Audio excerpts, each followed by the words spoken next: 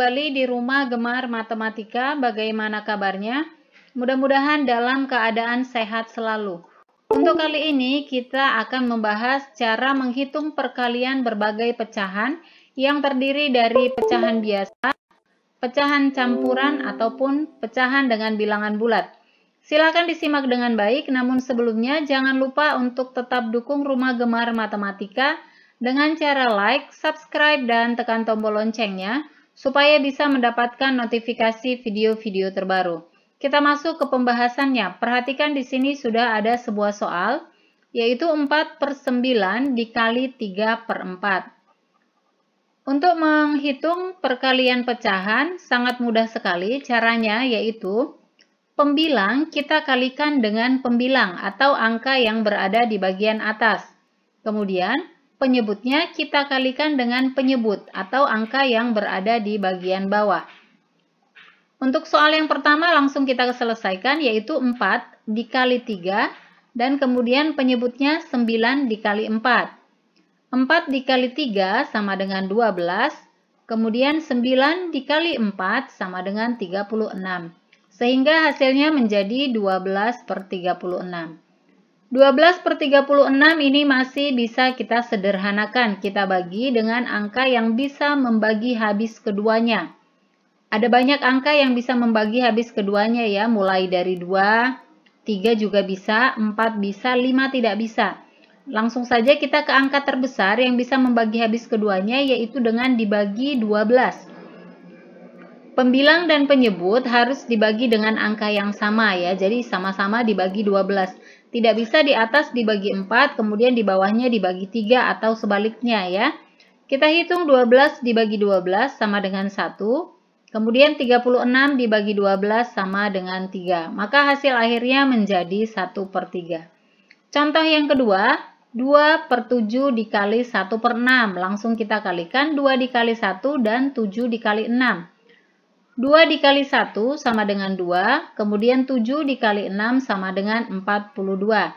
Pecahan ini juga masih bisa kita sederhanakan, kita bagi dengan angka yang sama, yaitu kita bagi 2. Pembilang dan penyebutnya harus dibagi 2, angka yang sama. 2 dibagi 2 sama dengan 1, kemudian 42 dibagi 2 sama dengan 21. Maka hasil akhirnya menjadi 1 per 21.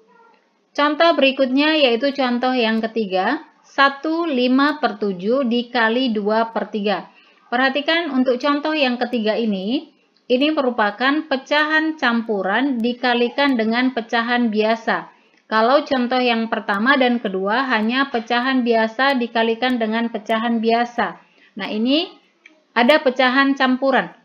Maka untuk menyelesaikan ini, pecahan campuran ini kita ubah terlebih dahulu ke dalam bentuk pecahan biasa agar bisa kita selesaikan nantinya. Untuk mengubah pecahan campuran ini menjadi pecahan biasa, caranya kita kalikan dari bawah, yaitu 7 dikali 1 ditambah 5, kemudian bawahnya tetap per 7. Dikali, di sini sudah merupakan pecahan biasa, 2 per 3-nya langsung kita pindahkan saja. Kita hitung 7 dikali 1 sama dengan 7. Kemudian 7 ditambah 5 sama dengan 12 per 7. Kemudian dikali dengan 2 per 3. Langsung kita kalikan. Karena ini sudah sama-sama pecahan biasa ya. Sudah bisa kita selesaikan. Kita kalikan pembilang dengan pembilang yaitu 12 dikali 2 sama dengan 24. Kemudian 7 dikali 3 sama dengan 21. Sekarang hasilnya menjadi 24 per 21. Nah, perhatikan untuk hasilnya, di sini pembilangnya lebih besar daripada penyebut. Jika pembilang lebih besar daripada penyebut, maka ini bisa kita sederhanakan dengan cara kita ubah menjadi pecahan campuran. Untuk mengubahnya ke dalam bentuk pecahan campuran, kita bisa menggunakan cara yaitu pembagian bersusun. Kita bagi 24 dibagi 21. Untuk angka 24 berada di dalam atau pembilang berada di dalam dan untuk penyebutnya berada di bagian luar. Kita bagi 24 dibagi 21 bisa berapa? Tentu bisa 1 ya. Kalau di sini kita tulis 2 sudah kelebihan karena di sini hanya 24. Kita kalikan 1 dikali 21 sama dengan 21. Kemudian kita kurangkan. Dikurangkan dari belakang yaitu 4 dikurang 1 sama dengan 3. Kemudian 2 dikurang 2 sama dengan 0 tidak perlu kita tuliskan. Selanjutnya kita bagi. 3 dibagi 21. 3 dibagi 21 tidak bisa, tidak cukup ya. Maka jika sudah tidak bisa dibagi lagi, langsung kita pindahkan ke atas, ke sini menjadi 3. Kemudian untuk bawahnya kita pindahkan angka yang di luar menjadi per 21. Sehingga hasilnya menjadi 1, 3 per 21. 3 per 21 ini masih bisa kita sederhanakan kita bagi dengan angka yang bisa membagi sama keduanya, yaitu dengan angka 3. Kita bagi 3. Untuk satunya kita turunkan terlebih dahulu, kemudian kita bagi. 3 dibagi 3 sama dengan 1, kemudian 21 dibagi 3 sama dengan 7. Maka hasil akhirnya menjadi 1 1 per 7. Contoh yang berikutnya yang keempat yaitu 9 dikali 2 per 5. Ini merupakan perkalian bilangan bulat dengan pecahan. Bagaimana cara untuk penyelesaiannya? Sangat mudah sekali ya. Jadi untuk bilangan bulat itu, contohnya di sini 9, berarti ini sama artinya dengan 9 per 1. Kalau 5 berarti 5 per 1. Jika 10, 10 per 1. 2 berarti 2 per 1. Seperti itu ya. Nah, selanjutnya kita kalikan dengan 2 per 5. 9 dikali 2 sama dengan 18. Kemudian 1 dikali 5 sama dengan 5. Hasilnya menjadi 18 per 5. Ini masih bisa kita sederhanakan karena pembilangnya lebih besar daripada penyebut. Kita bagi seperti contoh yang ketiga menggunakan pembagian bersusun. 18-nya di dalam, kemudian 5-nya di luar. Kita bagi. 18 dibagi 5 ini bisa berapa? Bisa 3 ya. Kemudian kalikan 3 dikali 5 sama dengan 15. Kita kurangkan. 8 dikurang 5 sama dengan 3. Kemudian 1 dikurang 1 sama dengan 0 tidak perlu ditulis. Kita bagi kembali.